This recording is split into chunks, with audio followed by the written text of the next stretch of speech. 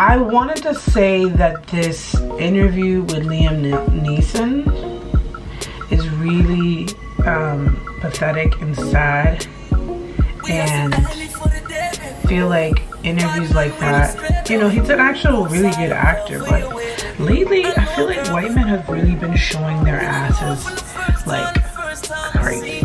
No i think he thinks that he's he thinks that he's not a racist person but like only a racist person would think like that someone who has a discriminating mind like that usually thinks that way and you going on good morning america to try to like just your thoughts and yada yada really did nothing for me as a person of color. It just showed me your ass and I never want to see it again. And it's not even anything about like cancel culture, it's more about the fact that he really tried to justify his being because his friend was raped, you know?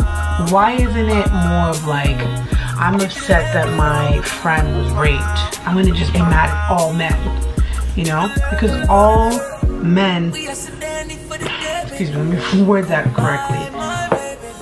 All kinds of people rape and do harm and do disjustice in this world and the fact that you were so fixated on a black man is just really what trips me out. And then it, it took for, what's lady's name? I think this was like Gail?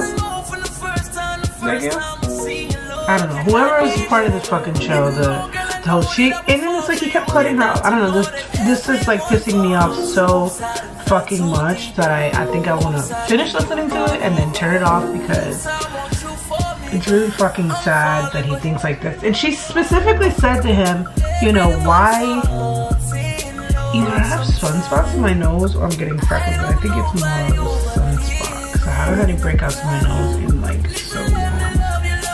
I need to do a nose, um, a nose detox. I'm just putting a little bit of the color Toffee from the Lost palette. I've been liking this a lot. I will say that this was something I was excited for from BoxyCharm. Another thing, I forgot to cancel my BoxyCharm. So I'm kind of like pissed about that, but at the same time, I'm like, whatever, just deal with it. Because um, I really didn't want it, but I have all these points and I have to decide what to do with it. So I have gold on my lids and my monolids are taking it up. So I may have to, I don't know, should I bring it up? Maybe I should wipe this. Hold on, let me put this everywhere.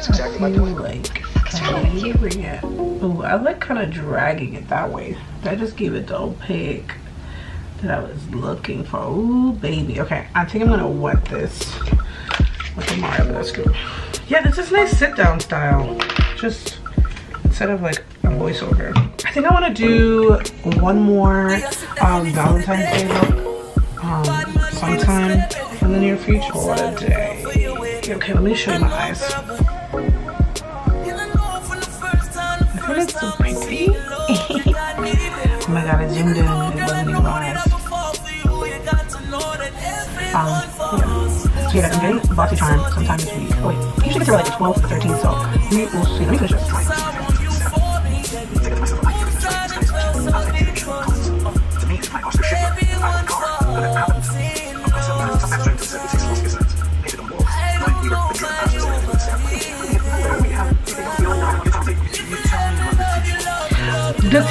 You should already know because you're 40 years into your racism. That's such reverse psychology for him to switch it up and nigga you tell me. No nigga, you tell me.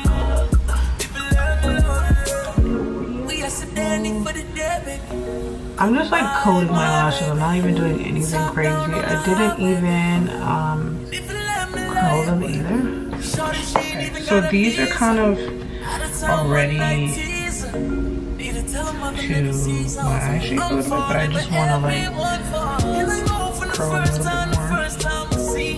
I totally wish, honestly, if the universe is listening to those videos, that I could manifest and afford a two-bedroom apartment in which I'm able to like a studio because I kind of hate that like my bed's right there and all my shit's right there. I kind of wish that I could just like have, not kind of, I definitely wish and would love to have a two bedroom in which the other bedroom is like my glam. Ooh, that was freaking perfect. That was so perfect.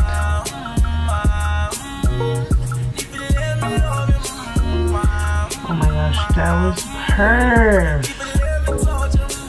Ladies, the trick is just to give your lashes about 30 seconds to dry. And that's the lash. Chin hairs are the worst feeling ever. The worst. Okay, I really like, the lashes kind of like made it pop a little bit, but they are like the main focus kind of. But whatever, I'm fucking with it. This is like too. So how the fuck did I end up here? Wandering the streets in the dead of night with nowhere to sleep for this lonely ass park bench. Be able to sit at a counter and drink water next to white people. My grandpa told me that before these black people had to deal with one another. You went to a dentist, black. You went to a doctor, one like to have a black doctor. You wanted food, went to a black store. So from top to bottom, the ecosystem from a dollar perspective, stay black. Yes, yes, black, black, black, black, middle class. You can say it's on top. Now, when you get that day, I want to know how it is. So for the next three days, leading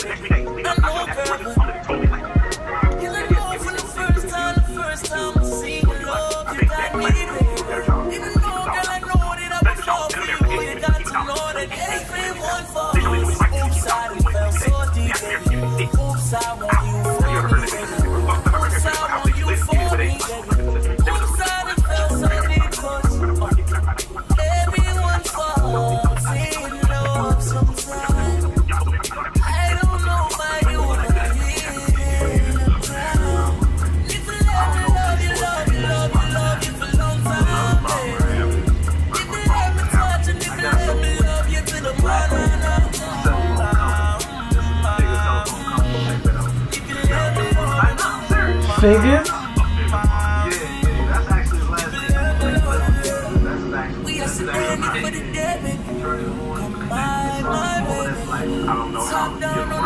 Dude, I really fucking love the foundation. My oh, God, looks so good. Yes. See, I'm wear different. What's the story about being in the this is where black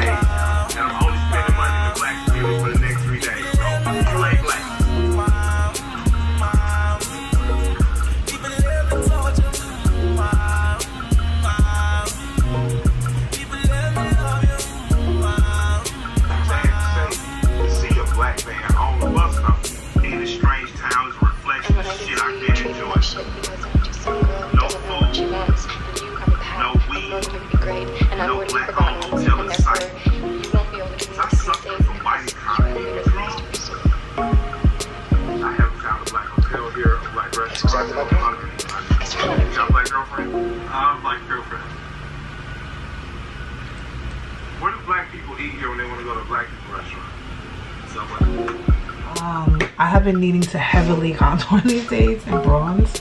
So I'm gonna go in. Oh, my battery's dying. Let's just quickly contour and then I will be back to give you guys the final look because the bitch battery is dying.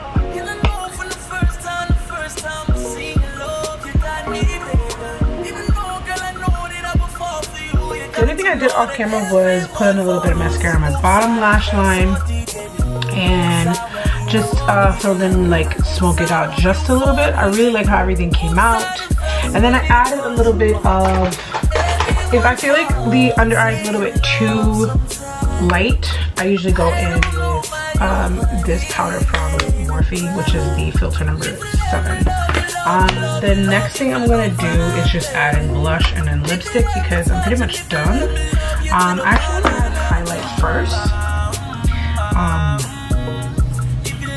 so this is the Jouer Tan Lines. Is probably hands down my favorite highlight at this point. For a while I was using the Anastasia one, probably for the last like two years. I love the Anastasia Glow Kit.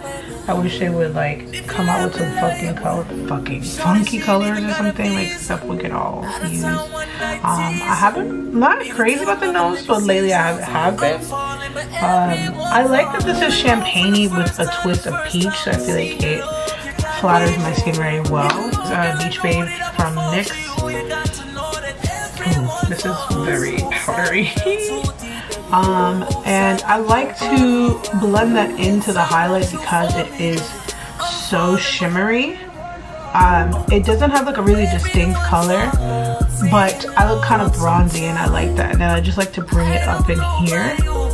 This is my favorite. Lately this has been my favorite cheekbone. Um, yeah, and just mix it in. And then I will probably add in blush. Oh my god, I'm doing this with my blush brush. So I kind of look like I've been sun toasted. I don't even like to call it sunburnt. I just like to call it sun toasted. And then I'll add in blush. This blush does have shimmer too. I don't mind. Blush does go first. So I would rather like this one disappear first. This is the Laura Geller um, Baked Tropical Hues. And then I just add, I feel like this is just gonna give me like color into my cheekbones. Um, yeah, I'm I get really into those cheekbones right up in here. I really like to create a cheekbone like this. Actually, I think this brush will probably be perfect for this powder. Ooh, I really like that. And right now I feel like I look glowy instead of like super highlighty. Um, you probably think that's the same exact thing, but it's not to me. Like I look a little bit more illuminated. I'm really loving this Kevyn Aucoin setting powder. I mean, setting powder. Um, I'm gonna put on Oldie But Goodie, which is probably expired, and I'll probably stop wearing it this year. This is Ruby Woo from MAC.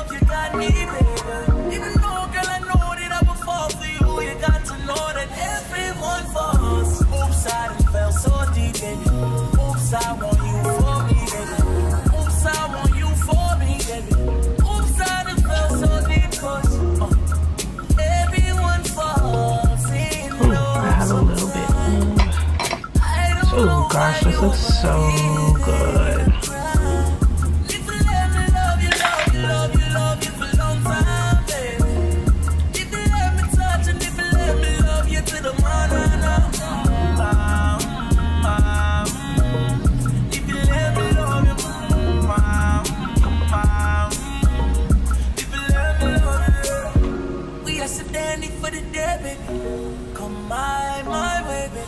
Of the reasons I love Ruby Woo is that it's a classic red.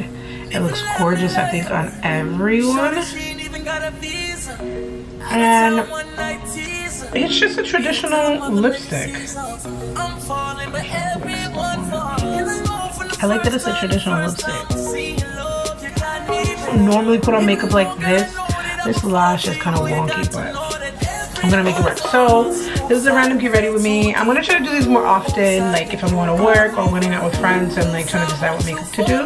Um, yeah, but this is like a classic look that I feel like most people on YouTube have, which is like glowy skin, uh, uh, a goldish bronzy eye, which is pretty much like three colors. It's your transition color up here, it's a deeper brown here, and then there's gold all over the lid. I'm not crazy about that Too Faced um, um, glitter insurance or whatever because it is transferring so I'll have to fix that. But with my eyes open I look really good. So I really like this especially with the hoops.